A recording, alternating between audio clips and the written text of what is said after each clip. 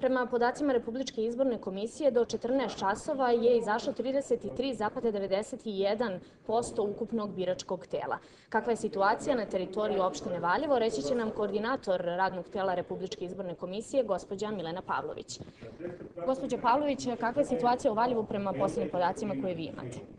Pa evo dakle u 14 časova prema e, uzornim e, mestima koje mi pratimo je sljedeće. Dakle, na biračkom mjestu broj 13 tehnička škola u Valjevu je izašlo 646 birača ili 35,7% ukupno upisanih.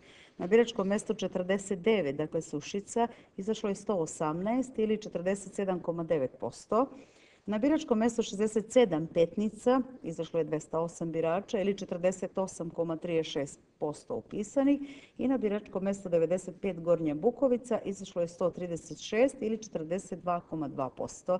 Dakle, prosek je 43,52 izlaznost dakle, za ova mjesta koja mi pratimo. Da li je ta izlaznost veća u odnosu na prve prvi krug predsjedničkih izbora? Da, da, ta izlaznost je veća nekih 5 procenata. Mhm, a da li je bilo nekih nepravilnosti? Do 14 časova nije bilo nepravilnosti, međutim, evo, trenutno se ekipe nalaze na terenu.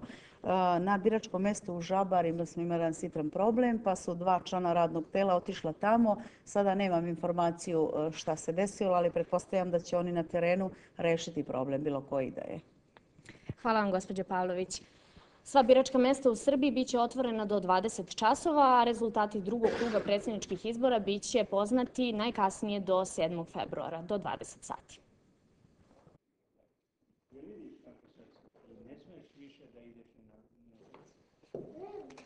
Nema fotografa.